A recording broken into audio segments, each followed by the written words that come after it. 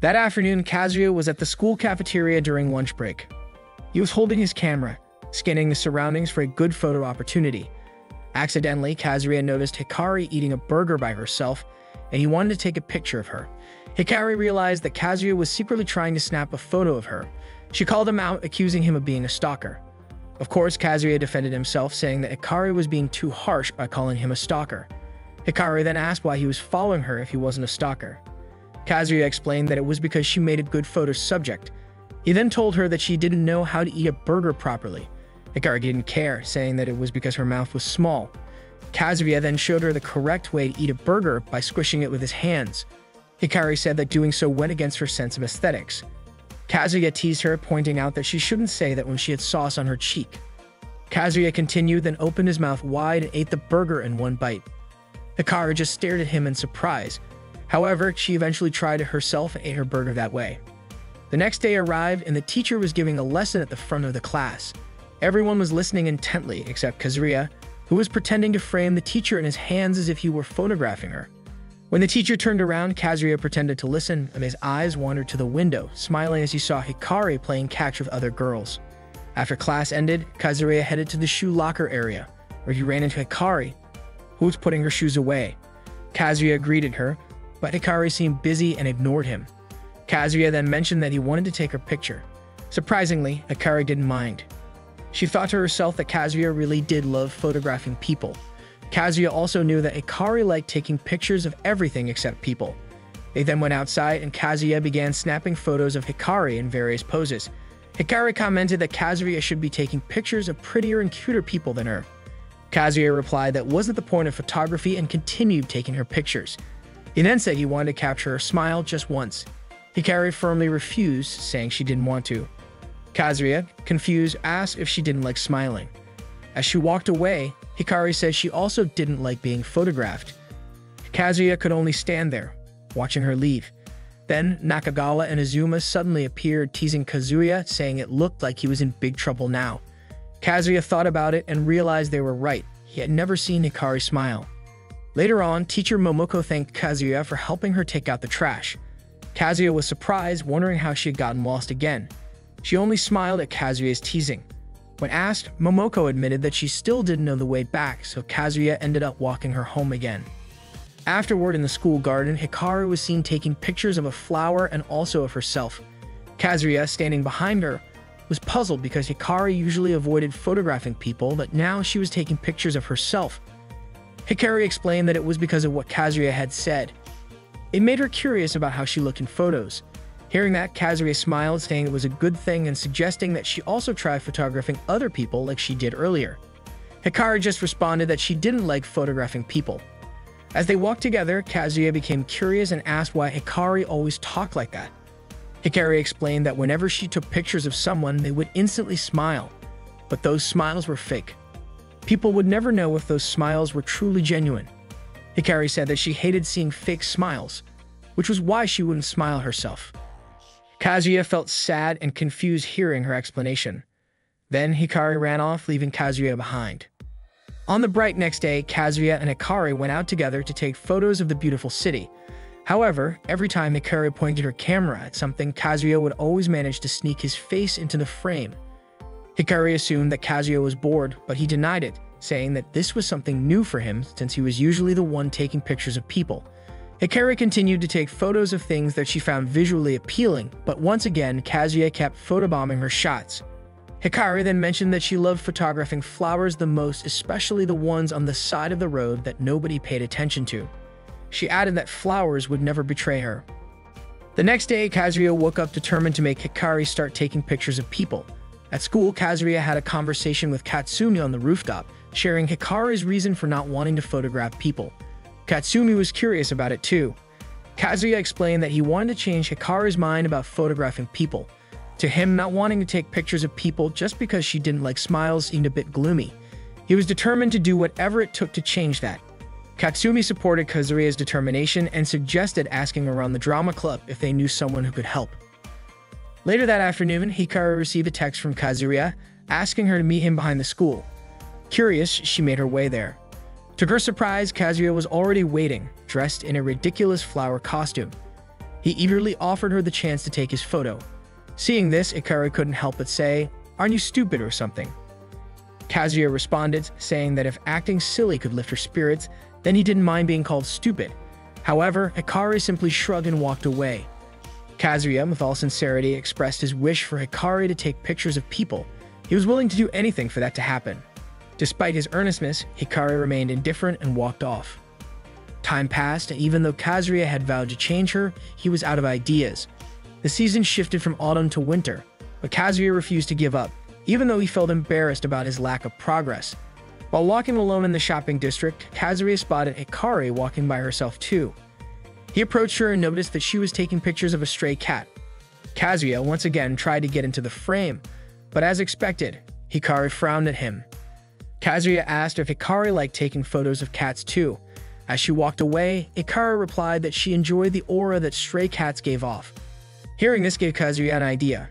At another time, Kazuya discussed his plan with the photography club members. He wanted to involve the club in his new plan. Kazuya mentioned that they would need some costumes, but Shida, who was present, said that she knew someone who had the costumes Kazuya was looking for. Katsumi also mentioned that she had a contact who worked at an amusement park and had similar costumes. Meanwhile, Hikari, who was sitting in front of her computer, received a message from Kazuya on her phone. He told her that he had found a cute cat near the mall and invited her to come take pictures of it with him. Near the mall, Ichida was seen spraying something on Azuma, who was dressed in a costume. Ichida mentioned that Azuma needed to act just like a stray cat. Nakagawa was already there, hiding in the gutter, while Kazuya, who was also dressed in a cat costume, was stretching to prepare. Ichida fanned the scent of cat food from a grill, attracting the attention of some stray cats. As Hikari approached the scene, she already suspected something strange was going on, especially when she saw Kazuya in his cat costume. Azuma and Nakagawa, who were all set to sneak pictures of Hikari's panties and chest, failed miserably because a bunch of cats surrounded them. Kazuya, who had already put on the cat costume, started acting as if he was a real cat. He rolled around on the street asking Hikari to take his picture. But every time the cat headpiece kept falling off. Kazuya would put it back on and strike a pose, hoping Hikari would take a shot, but instead, Hikari just laughed. She told Kazuya that he should take off the costume because it was dangerous. But Kazuya wasn't ready to give up, so he asked her again to take his photo. He struck another pose in the cat costume, but it seemed like his efforts were in vain. Eventually, he gave up and took off the costume. Hikari just laughed and said at least it was funny. The next day, Kazuya was panting heavily as he ran to meet Hikari at a bookstore. Hikari laughed when she saw him because Kazuya was still carrying the big cat head from the costume he wore the day before. Kazuya explained that he was late because there was no place to store the giant cat head. After riding the train, the two of them arrived at Kuba Amusement Park.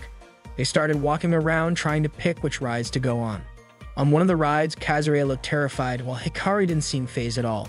She remained as stoic as ever. It was the same when they went through the haunted house ride. Hikari didn't seem scared in the slightest. They continued trying out other rides, but Kazuya looked more and more terrified and nauseous with each extreme ride they took. As they walked by a photo booth, Hikari paused for a moment, gazing at it, but then turned her head and kept walking. Finally, they got on the Ferris wheel together. Kazuya told Hikari that they'd be able to see Mount Fuji clearly from up there. Hikari agreed, saying the weather was indeed perfect for it. By the time evening rolled around, they were heading back on the train. While walking together, Kazuya said he had a great time, and Hikari admitted it had been a while since she felt that way. Hikari then invited Kazuya to go somewhere she couldn't visit alone. Kazuya agreed, wondering what kind of place it could be. It turned out Hikari brought him to a hill where they could overlook the city's beautiful lights. She explained she didn't want to go there alone at night. Kazuya understood. Hikari asked him to lend her his camera. She placed it on a tripod and aimed it at the sky, Hikari mentioned that the spot was far from the city's bright lights, making the stars appear much clearer. She also asked Kazuya to hold the shutter connected to the camera. They both sat down on a bench and Hikari thanked him for everything. Kazuya responded by saying he didn't really do anything, it was Hikari who won the day. As they gazed at the stars, Hikari admitted that she felt a little scared. She shared that she had a tendency to daydream a lot when she was a kid. She also loved photographing insects and flowers. But since middle school, the other girls in her class started talking to her. She began getting into conversations about fashion and music, but she was never really interested in those things. Hikari started playing around, dressing up, and smiling. She began to understand more and more of what they were talking about. In reality, she was thrilled to have friends for the first time. She tried to fit in with them. But it turned out that to them, Hikari was just some weird girl. They only wanted to hang out to make themselves look better. They kept bossing her around. It made Hikari so frustrated with them that she decided to stop hanging out with them. After that, they started teasing and bullying her. Kazuya thought to himself that what they did was awful. One day, one of Hikari's classmates claimed to have lost their wallet. The wallet was then found in Hikari's bag. She kept saying over and over that she didn't do it, but the teacher seemed to have already accused her from the start. Her classmates really cornered her, and Hikari could even hear their laughter in the classroom. The girls hated her, and the boys started to tease her.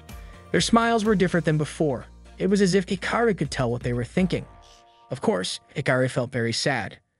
Kazuya then asked if that was why Hikari never smiled anymore. Hikari said she no longer trusted smiles. Hearing her story made Kazuya feel upset too. Hikari then said that she did trust Kazuya's smile. She also told Kazuya that it was probably time to release the camera shutter. When they looked at the photo, it turned out to be stunning. Flowers and stars could be seen in the picture. Kazuya thought it looked like heaven. While looking at the photo, Hikari asked Kazuya what he wished for from the shooting star in the sky. Kazuya replied that he loved Hikari's smile. He added that he could count on one hand the number of times he had seen her smile. But Kazuya loved Hikari's smile, so he wished to see it as many times as there are stars or even more than that. That was Kazuya's wish. Hikari blushed when she heard that. She then asked if she could take a picture of Kazuya's smile. Kazuya immediately agreed. Hikari pointed her camera at Kazuya's face and snapped the photo. For her, it was the first time she had taken a picture of someone since she entered high school. After the picture was taken, Kazuya asked what Hikari wanted. Hikari responded that she also wanted to see Kazuya's smile more often. After saying that, Hikari tried to warm her hands by blowing on them. Seeing this, Kazuya held Hikari's hands and put them inside his jacket pocket. Hikari felt warm because of it. Kazuya moved his face closer to Hikari's, and the two shared a kiss under the starlight. The next day, Kazuya and Hikari were seen relaxing and taking photos of each other on a boat. Some other visitors at the location teased them. Kazuya then rowed the boat away from the crowd. While rowing, Kazuya invited Hikari to go to the beach next weekend. Hikari agreed to the plan and said she would wait for him at the bookstore near the station. Kazuya was curious why it had to be at the bookstore. Hikari explained that it was a place where she could read books if Kazuya was late. Kazuya smiled and said it took time for Hikari to trust him. Time passed and now they were at the beach. Kazuya was photographing Hikari, who was wearing a swimsuit and playing on the beach. Hikari happily posed for pictures, smiling and striking various poses. Not only that, Hikari also took pictures of Kazuya, Kazuya captured many photos of Hikari there. In a room, there were plenty of pictures of Hikari and Kazuya, some of them alone and others together. And out of all those photos, it started with one where Hikari was eating a hamburger.